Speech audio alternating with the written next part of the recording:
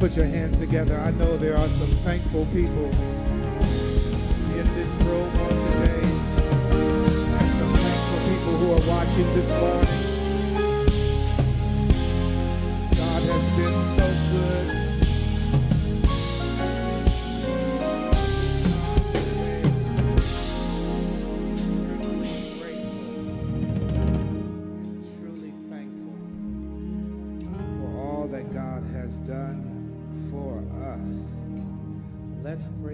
Father, in the name of Jesus, we thank you for bringing us together once again.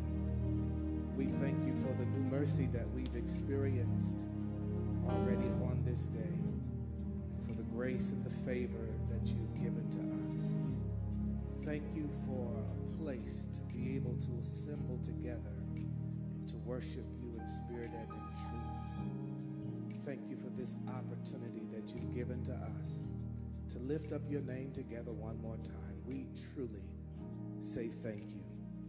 Thank you for this privilege to look into your word. We ask your blessings upon us now.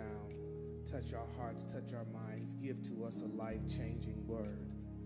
Change us for the better, strengthen us, encourage us. And as we change, we promise, God, that we will give to you all of the glory, all of the honor, and all of the praise. It's in the wonderful name of Jesus Christ that we pray and we preach. Let the people of God say, Amen.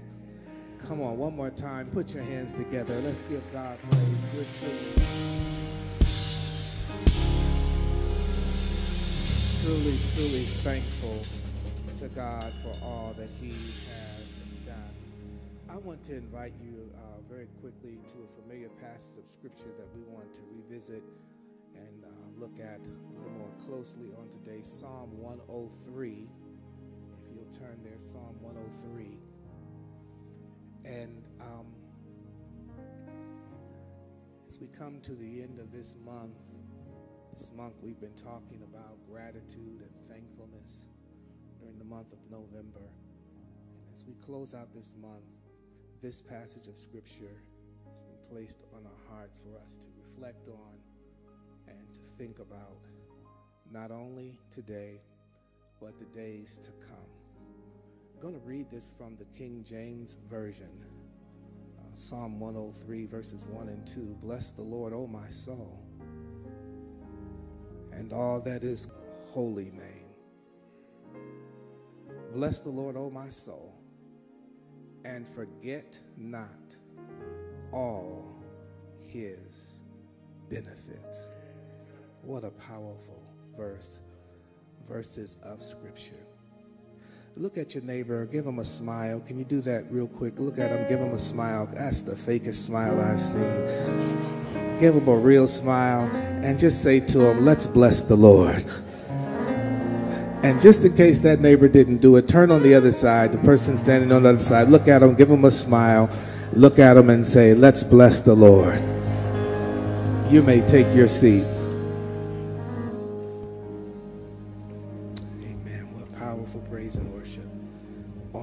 Today. The Psalms are filled with um, stories that many of us uh, can identify with. They are filled with uh, stories that contain a lot of emotion, and at the same time, they are packed with uh, stories that empower.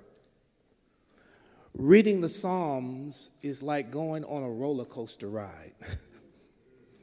you're going up, and then sometimes you're going down. It's like a roller coaster ride because you're going around curves and you're going with, with speed, and sometimes you feel like you're about to fall off, but somehow you still are able to hang on and hang in there.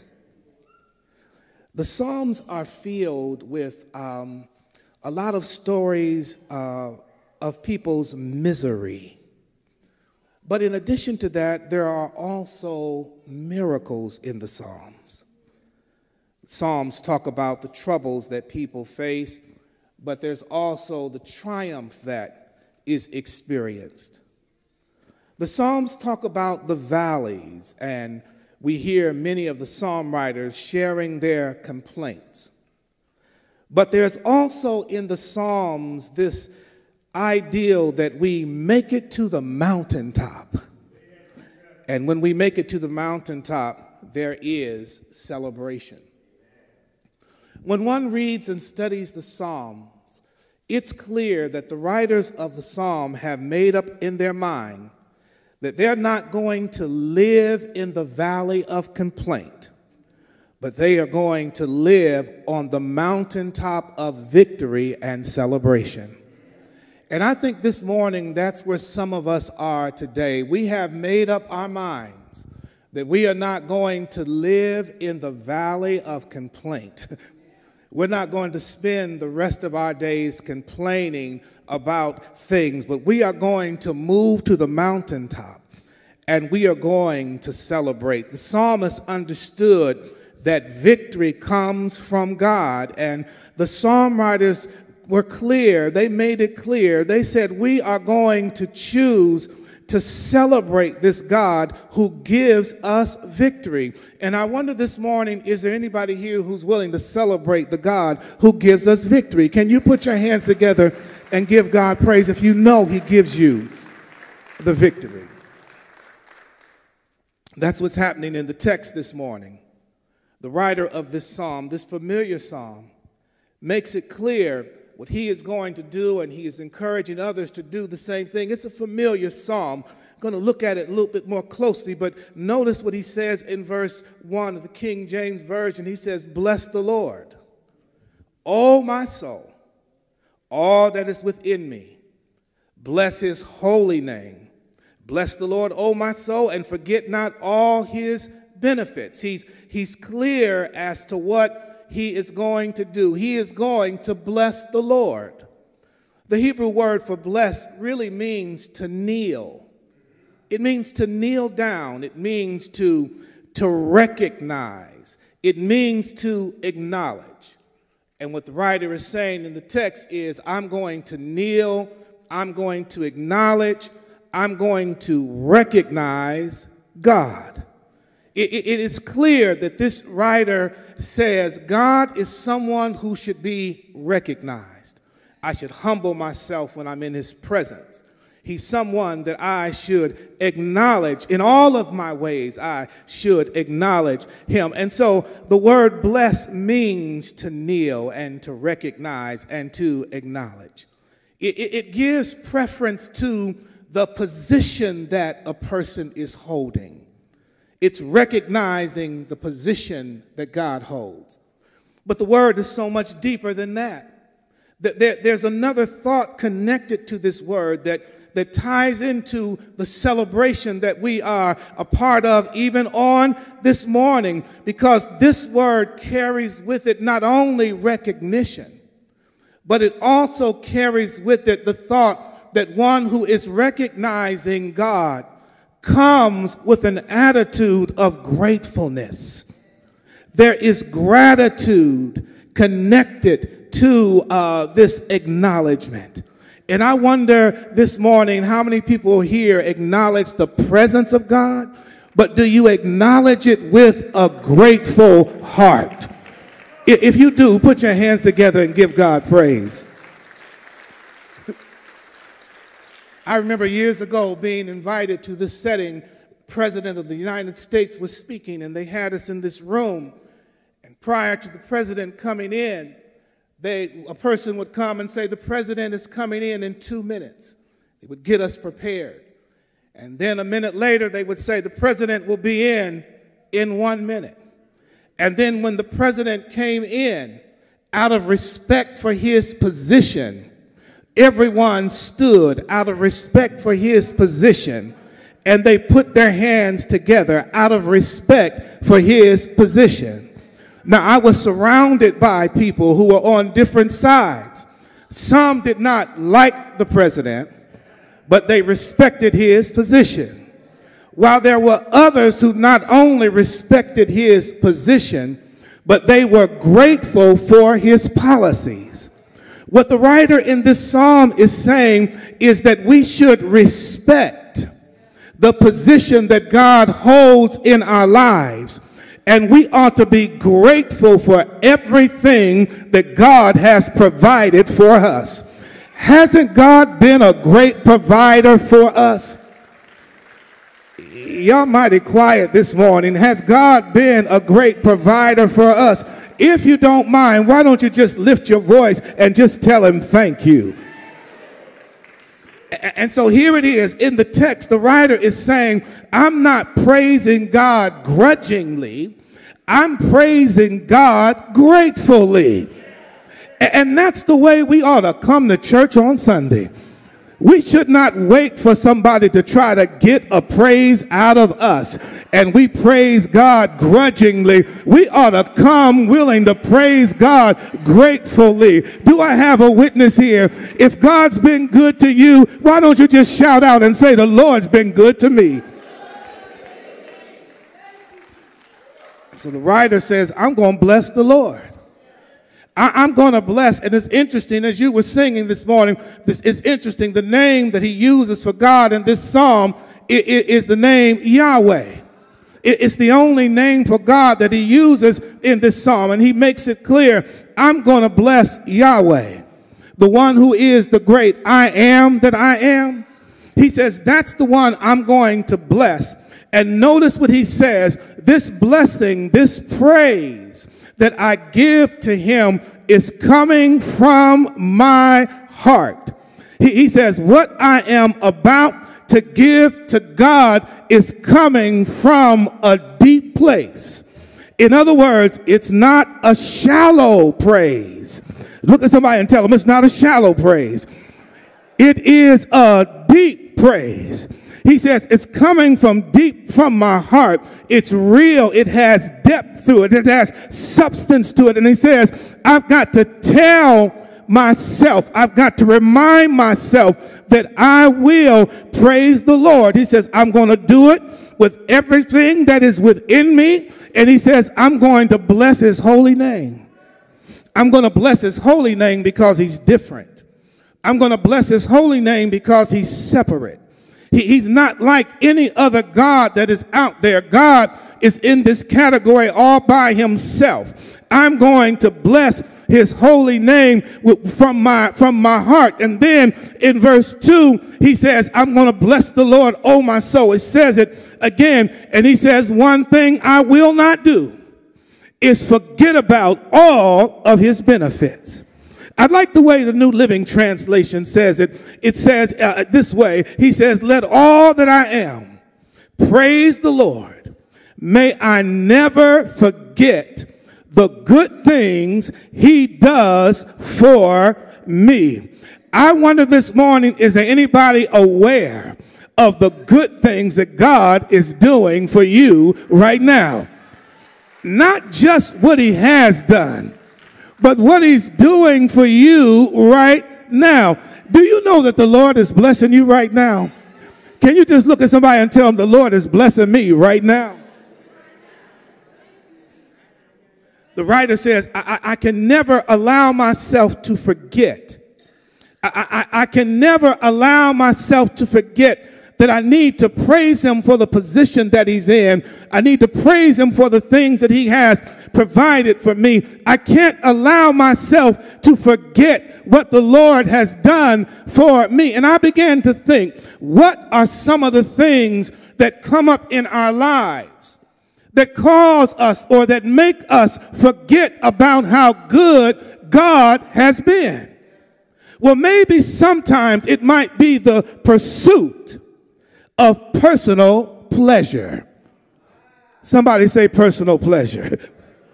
Some of us are having so much fun that we've forgotten all about God.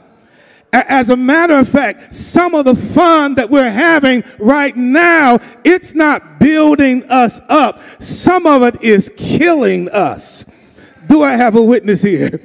But the writer tells him, he says himself, he says, I can't forget about what God has done for me. I can't allow the pursuit of personal pleasure to cause me to forget about how good God has been to me. Sometimes we forget because of the pain that we've been through. Sometimes that pain has been so great that all we can see and all we can focus on is the pain in our lives. And it causes us to forget about how good God has been to us. Sometimes it is the pursuit of other people. Maybe not anybody here or watching online, but you do know that there are some people who put people before God. Amen, Dennis. Preach Jeffrey Allen, Dennis. Doing the best I can. So, sometimes we put people before God, and our goals are to please people more than we please God, and that causes us to forget about how good God has been to us. But the writer says, I'm never going to forget. I'm going to remind myself. I've got to tell myself I cannot forget how good God has been to me. Regardless of the pain that I've been in, I can't forget. I cannot allow myself to forget how good God has been to me. And it's interesting here, he talks about, I can't forget his benefits. What's interesting when you read what he shares after that, it, it, it, it can be capitalized this way. The writer simply says, I can't forget about the fact that God does things for me that I can't do for myself. Do I have a witness here? Can I say that one more time? I can never allow myself to forget the fact that God does things for me that I cannot do for myself. And he begins to list a few things that the Lord has done that he's not able to do for himself. And I wonder before I even just share this list, this quick list, or share it quickly, I wonder is there anybody here who can give God praise for the things that He's done for you that you could not do for yourself? He says, I can't forget this. What, what, what does he do? Why, why bless him? Why he, he does these things for me that I can't do for myself. Well, well, what are they? Well, first of all, he forgives all my sins. Verse 3, he, he forgives all my sins. We, we ought to be thankful for the things that God has canceled. He forgives all of my sins. In other words, I can forgive myself for what I've done. I can forgive others for what they've done to me.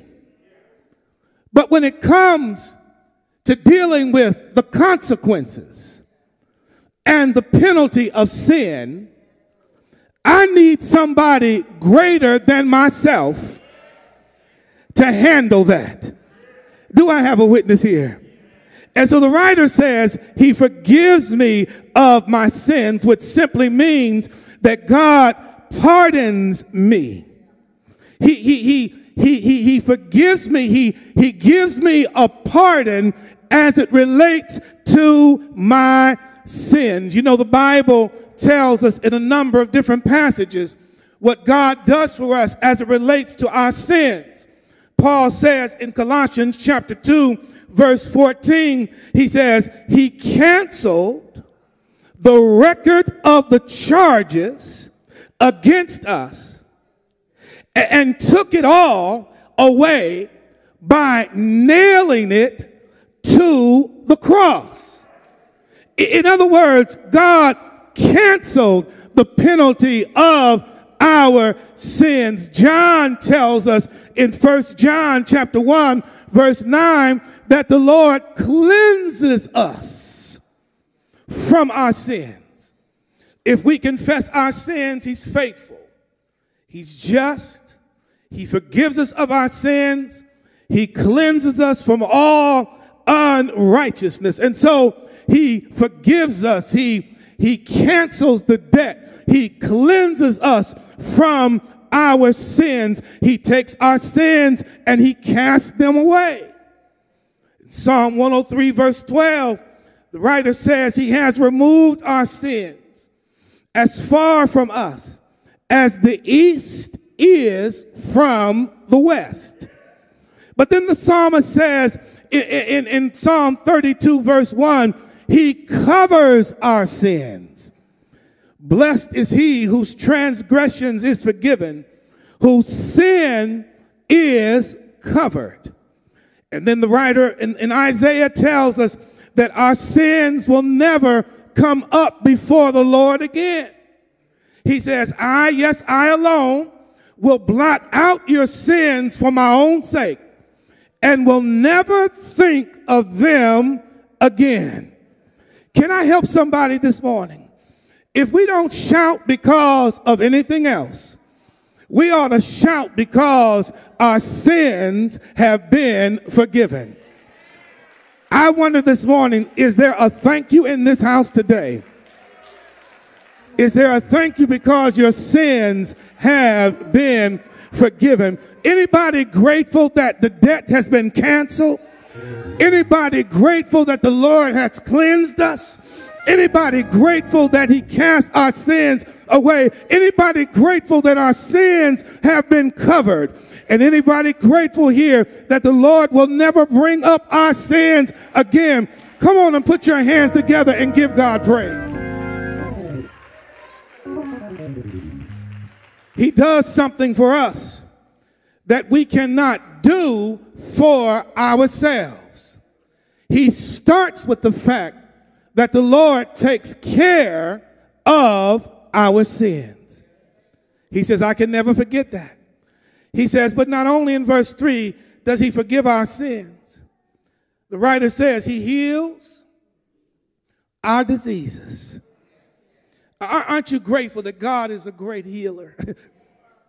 writer in Psalm 30, verse 2 says, Oh Lord my God, I cried out to you for help, and you restored my health.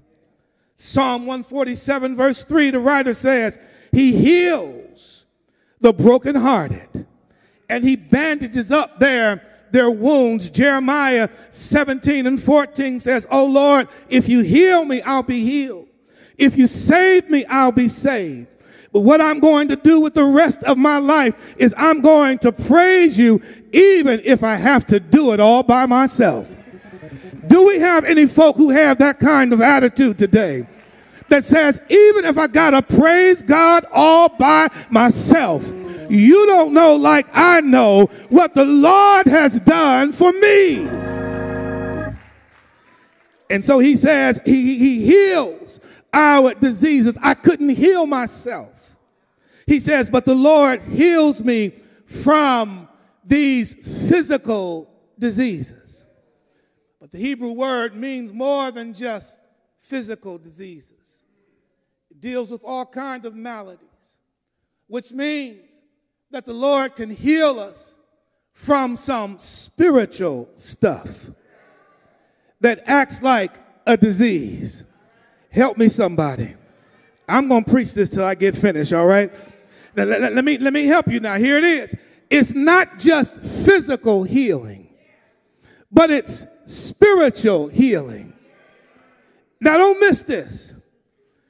The writer says all of our diseases, which means some of the spiritual, internal stuff that needs to be dealt with God is able to bring some healing. What are you talking about? Well, can I help you? Maybe some of us need to be healed from having a bad attitude. I didn't think y'all say amen on that. Maybe it's the spirit of rebellion. Maybe it's the spirit of anger. Maybe it's the spirit of malice. Maybe it's some type of sexual issue. Whatever it is, the Lord has the ability to heal. And if you know He has that ability, can you put your hands together and give Him praise? Y'all don't like this kind of preaching, do you? He's able to heal the external stuff, but He's also able to heal the internal stuff. Now, there's some folks sitting around you, they may not want to be honest, but they know that the Lord can change your mind. They know that the Lord can give you a new attitude, a, a new way of thinking. Do, do I have a, a, a witness here? Anybody here grateful for deliverance? Put your hands together and just thank the Lord. Come on, put your hands together and thank Him for deliverance, for healing. The writer says, I can't let myself forget about what the Lord has done for me. I, I can't do it. He he, he dealt with the sin issue. He, he brought healing to my life, spiritual, psychological. He, he, he, he healed me. But he also says uh, in, in verse 4 that he redeems me from death. Or, in other words, the Lord is keeping me and has kept me alive. And I wonder, is anybody here who can give God praise? Because you know it's been nobody but the Lord who has kept you alive. In Psalm 116, verses 3 and 4, the writer talks about how death was wrapped around him. He says, uh, but and all he saw was trouble and sorrow. He said, but then I called on the name of the Lord and I asked the Lord to save me. And he raised me up. Anybody here ever faced a death-like situation and the Lord raised you up and you're still here by the grace of God? Come on, somebody, give God praise right now. I shouldn't be here right now.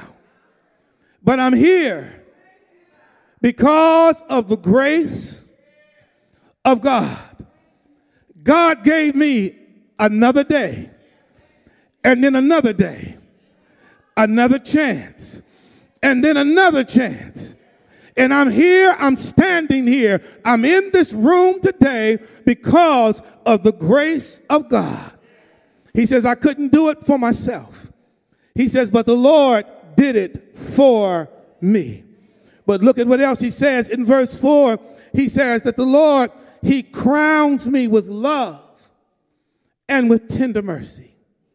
And what he's saying is the Lord has set me apart and he's given me a special crown. He's given me a place of honor and he's given me victory. But more so than that, the writer says that the crown that I have on my head, it's a crown that says, no matter what, the Lord loves me. And no matter what, the Lord cares about me. Now, can y'all help me this morning? Somebody needs to hear this on today. Can you look at them and tell them the Lord loves you? Can you tell them that?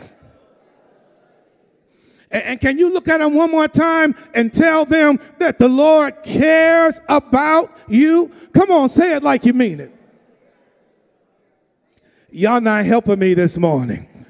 Y'all, y'all not helping me this morning. Somebody needs to know that the Lord loves you. Those who feel unloved, there is somebody who loves you. Those who feel like nobody cares, there is somebody who cares about you. Do I have a witness here? And aren't you glad today that you know somebody who loves you and that you know somebody who cares about you? Come on and give God praise. I, am just about finished here. Verse 5 says, He fills my life with good things in other words, he brings satisfaction to my life. And then he says, My youth is renewed like the eagles. And I want to say this, and then I'm going to take my seat. What the writer is saying, I can never forget about the things the Lord has done for me. He's been real good. And he says, one of the things that the Lord has done, he says, when I was down, and when I was weak, and when I was counted out, the Lord stepped in. And what he did for me was he gave me new strength. In other words, when I was counted out, the Lord counted me back in.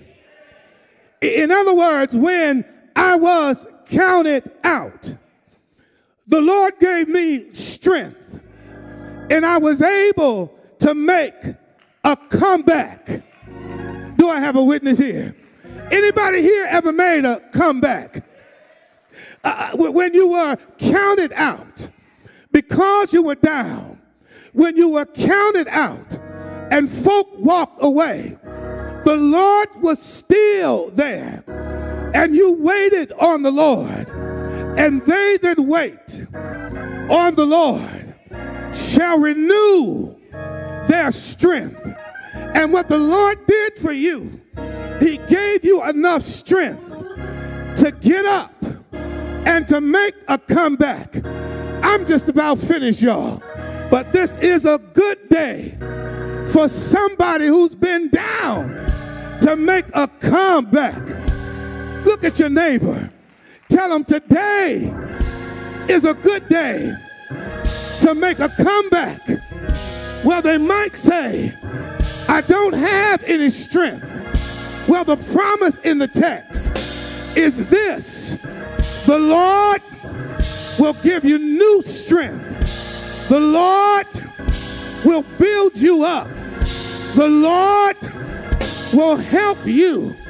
And even though they counted you out, count yourself back in. Can I tell you today? I'm finished, y'all. I never shall forget what the Lord, I'm preaching for myself, yeah, has done for me. My sins, He took them away. Do I have a witness here? When I was sick, He healed my body. Yeah. He brings satisfaction to my life. And when I was down, He raised me up and allowed me to make a comeback. I may be down, but the Lord is able to raise me up. Somebody give him praise. Come on and give him praise. He's worthy. He's worthy. I never shall forget. I can't let myself forget about the good things that the Lord has done for me. Come on and stand everywhere in the building. Put your hands together and give him praise.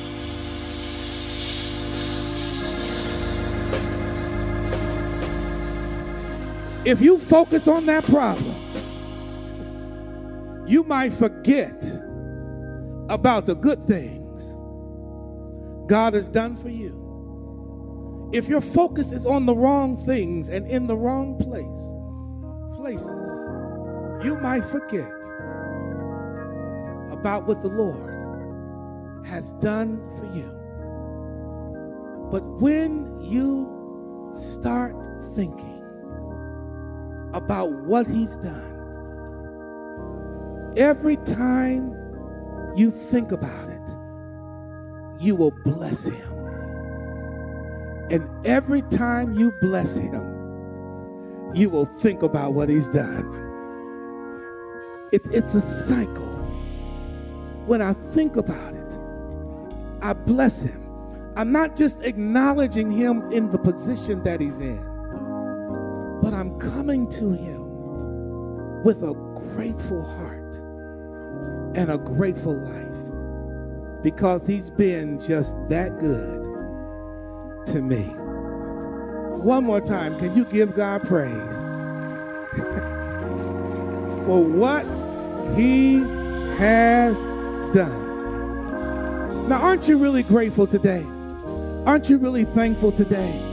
When you think about the fact that God has done things for us that we could not do for ourselves, it ought to bless us. I want you to bow with me this morning. I want to pray with you. I want to pray for you and pray with you. Maybe there's someone here today. Maybe you have allowed situations to rob you of your joy. Maybe you've allowed people and other things to get in the place where God alone should sit. And maybe you have forgotten about how good God has been. I want to challenge you today. I want to pray with you today. I want to ask God to reset you and to refocus you so that you can be reminded of just how good God's been. And so that, so that you can have the joy of your salvation and your relationship restored to you. Maybe you're here today and you've been down.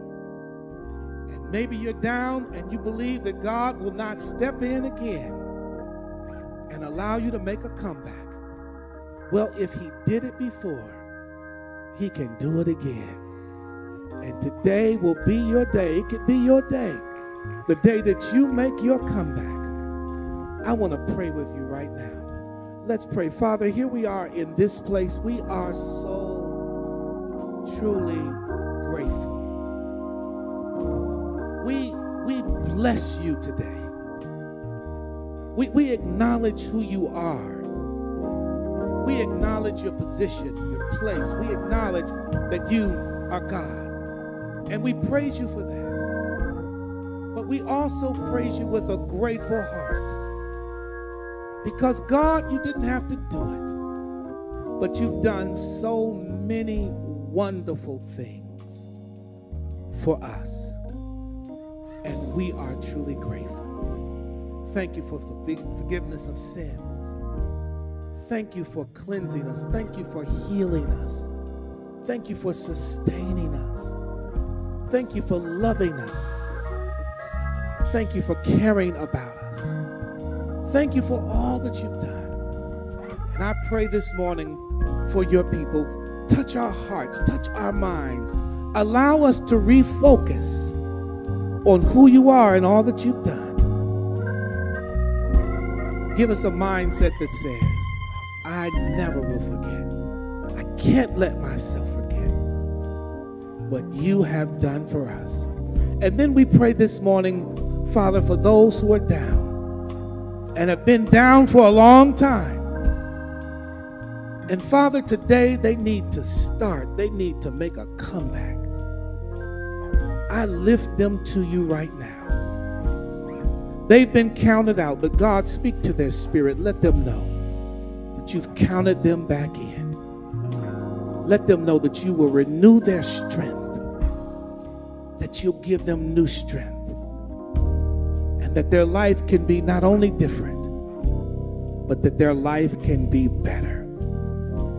We thank you, God, and we praise you.